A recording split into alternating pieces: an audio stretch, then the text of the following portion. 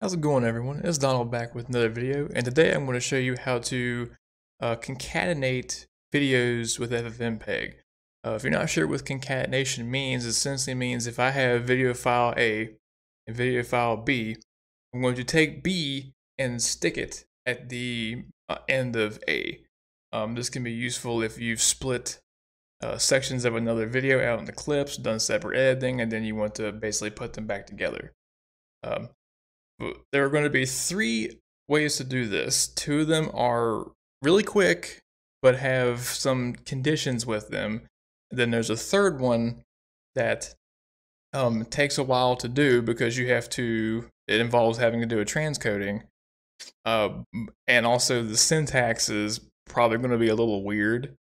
Uh, but I will explain all that to you. But the advantage of the third way is, is that you can essentially take, as far as I've used it, any uh, files with anything and any codecs and uh, concatenate them together. Before we get started, I'd appreciate it if you left me a like and subscribe to my channel if you haven't. I'm really trying to grow this channel and any help would be appreciated. Now that out of the way, let's get over to my terminal. And uh, if we look at my directory here, I have a bunch of uh, files left over from me basically doing, uh, I'll call it FFmpeg mad science experiments. Now I'm going to show you uh, the first way is using the uh, demuxer approach to doing this. Um, the uh, condition with being able to do this approach is that the files that you are wanting to concatenate together have to have the same video and audio encoding.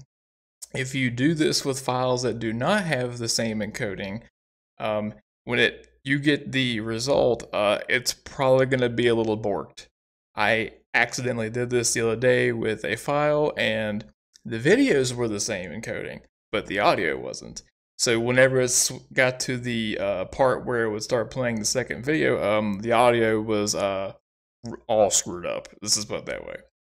So the way you do the demuxer approach for concatenating files is you start with um, dash F, which forces FFmpeg to use a certain format when it's uh, processing the data stream. And there's a there's a con there's a concat format, which basically says, "Hey, I just want you to take these inputs and put them together." That's that's basically what it's saying. Now, the way you usually do this is you don't specify multiple inputs like you do some other ways. You uh you put all of the uh files that you want to concatenate together and just just some text file doesn't really matter what it is and it will read from that and concatenate them together in the order they appear in the file. Uh, to show you what I have I have a file here. You'll see it called list.txt if we look at it real quick you will just see there's two files in there. It's going to be using uh, this intro clip that I took from a bigger recording and outro clip from the same recording and it's going to uh, combine them together. So let me get that command back up the way I was doing it. Uh, dash F. Uh, can't type. I can't type today. There we go. Uh, so we were to pass in that text file as the input, which is a little different because up to this point, anytime I've been showing you anything, you were passing in files, like actual files. This time we're passing in a list of files into as an input. And we're going to do dash copy. This prevents it from doing a, uh, a transcoding. It's going to basically just take the files encoded as they are and just basically put them in another container format, but by concatenating the streams together. And I'm going to call this, um, I call this demux. Yeah. Um, I'm actually going to let this run because this should take like maybe barely even a second. Yes, overwrite. Uh, okay, took two seconds. So to show you real quick what these two things are separately, let's look real fast.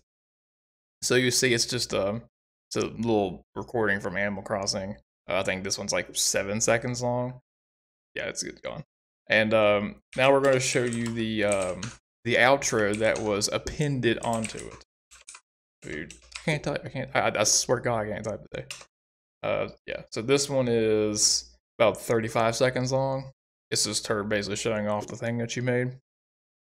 So, assuming that the command I just ran worked, what should happen was it'll play the first part and then immediately start playing the outro.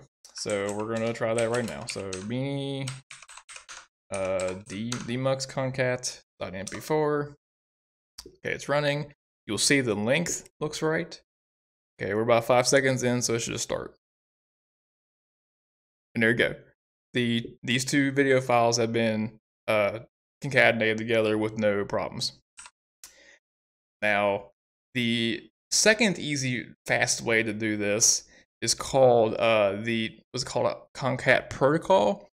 This essentially works on the fact that there are some, very few, mind you, very few uh, video and audio encodings that allow you to do what's called file level concatenation.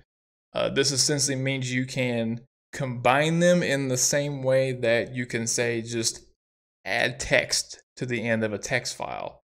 You can essentially just take uh, the first uh, file, the first file, and just slap it onto the end of the, of the second one, and it, it works fine. Um, there's only the only video encoding that I know of off top of my head that this works is something called like MPEG transport stream, which has a file extension of like .ts. And I have a couple of these in here that I have made, or I thought I did. Maybe I don't. Uh, I will edit in a part where I make those real quick because I thought I had those somewhere else. Uh, wait, never mind. I know where those are. Those are in mine, I think. Uh, let's see. Videos, is my stuff. Yeah, okay, there they are. Uh, so the way this works, if you have a uh, encoding that can do file level concatenation, uh, which the way you do it with this is uh, you see.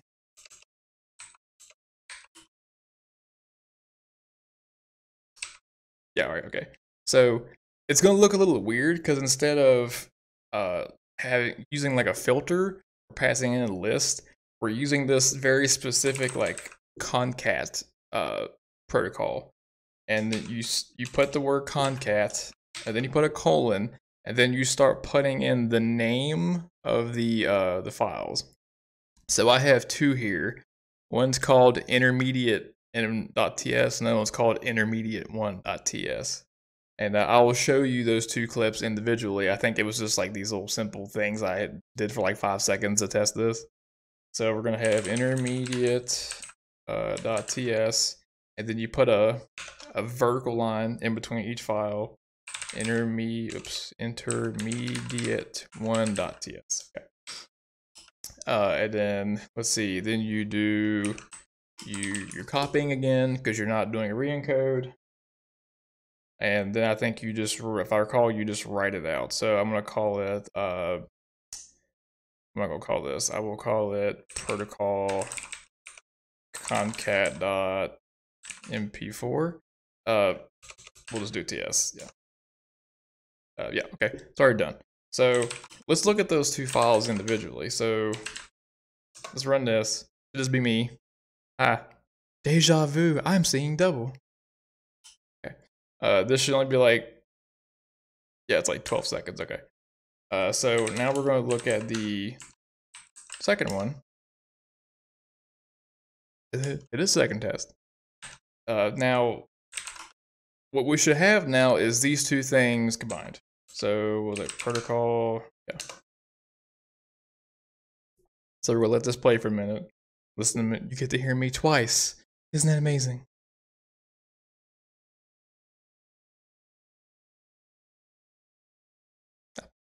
And there you go. And apparently it did. Okay, so that is, you have seen the demuxing approach and you have seen the uh, protocol approach. Now for the third one, which is going to be kind of weird. So let me go back to the uh, directory I was in originally. Yeah, okay. So this one is going to be a little weird. You, the advantages though is that you can combine videos that have different encodings. uh, with the caveat, as I mentioned, that this does do a transcoding. So the way that this works is you have to build something called a complex filter graph, and I will show you what that looks like.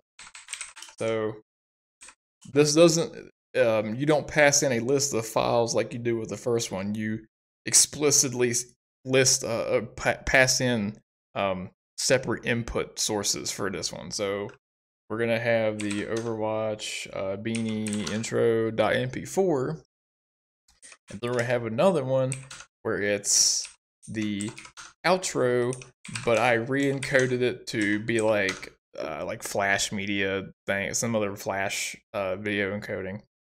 Now the option you want for this is called filter complex, as you see. Now I'm gonna start a new line because this this gets a little weird as you can see in the preview. Now, normally when you do filters in FFmpeg, um, you what it, it just takes the, the video streams that you're giving it from your input files, does something to it, and then automatically will use it in the um the right the, the output of the file, the the thing that you're re-encoding out to. Filter complex, you have to explicitly specify what streams of data you're working on. And the syntax is going to be a little weird, okay? So I'm going to try to take this slow because it might be a little confusing. So the syntax for specifying what you're working on is this weird syntax where it's um, in square brackets, there's a number, there's a colon, then you'll use this usually either see a V or A. So what this is saying is that I want to work on the first video input and I want to I want the, the first input file and I want to use its video stream. Now, if you're not from a programming background, you see a zero and go, what the hell? What do you mean it's the first one? So, uh, very minor programming lesson. In programming, whenever you have like a collection of like data in a like a some kind of some kind of like an array or a list, they are uh, indexed starting at zero, not one, zero. So when you see this and you see zero, this is saying whatever this list of inputs is that I gave at the very start of the command, I want to use the first one. An easy way to remember this, uh, especially if you're like just now learning coding and trying to get your head into the game of the whole like lists start at zero is that whatever you would normally think it is, just take one from it. So I want the first one. Well, in programming world, the first one has an index of zero, not one. Okay, so uh, try to keep that in mind as I keep going forward.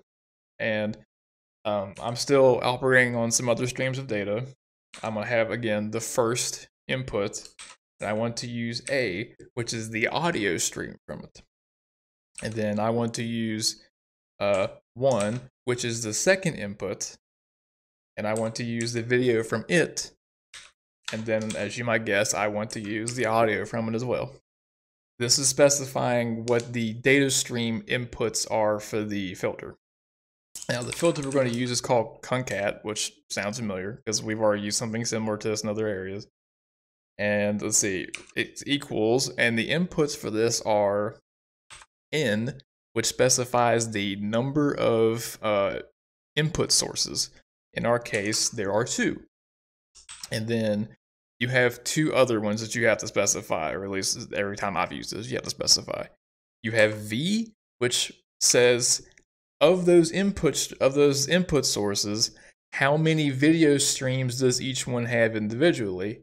And this will also decide how many video streams get written out from the from the filter and in this case we they each have one and then my guess same thing for a a each one of those sources only has one audio stream so to only write out one audio stream. Now normally when you run a filter the normal way in ffmpeg this automatically gets sent out to the output file. But in this case you have to just basically store this in uh, uh, a named location. So the first output of this will be the new concatenated video stream. And I'm going to call it out v. You have to wrap the name of the uh, data you've created in this the same bracket, the square bracket syntax. And then the second thing it created will be, as you might guess, the audio stream. And I'm gonna call this out A. Uh, now, you can keep going with this if you have like multiple things you want to do, but at this point, I am done with the uh, the complex filter graph part. And so we passed in some data streams, we concatenated them, and then stored them in these these names, out A and out V. Now, how do we tell FFmpeg don't use the just don't use the straight input from the the files. Use these new data streams that i have created. Well there's a there's a uh, option called map and this tells ffmpeg hey don't use the normal video streams from the input use the thing this thing that was created during some process and you have to use the same square bracket syntax so i'm going to tell it hey i want you to use out v and then you have to do the same thing again for the audio. I want you to use out A. And then finally you say whatever you want this to be called. Um, I believe, uh, did I already make this somewhere? I did. Overwatch, Beanie, Complex, yeah. So I'm not going to let this run because this, like I said, this is this is will transcode this. This will take at least a few minutes. Uh, yeah, uh, I'm not going to let it overwrite. Uh, so, but to show you what it will look like, as you recall, this is just a simple, maybe like 40 second long clip when they're both combined. So if we look at the Overwatch Beanie complex, you will see that it is combined, even though these two video files had completely different video encodings and probably yeah, and probably audio encodings. So there you go. Now you know how to combine videos quickly that have either the same encoding or if they're one of those really special cases where you could do what's called file level concatenation. And you even know how to combine video files that have different encodings. Um, as far as I've used so far, there is no um, uh, restrictions with that. I've tried it with a couple different combinations and they've all worked fine. Uh, not to say that this may that may not work sometimes, but everything I've time I've tried it, it's worked fine. Uh, so that's all I have for this video today. Uh, if this helped you out at all, leave me a like, subscribe down below. If you get confused and have a question, leave me a comment down below, and I will try to answer the best as I can. Uh, y'all come on back now, and I'll see you next time.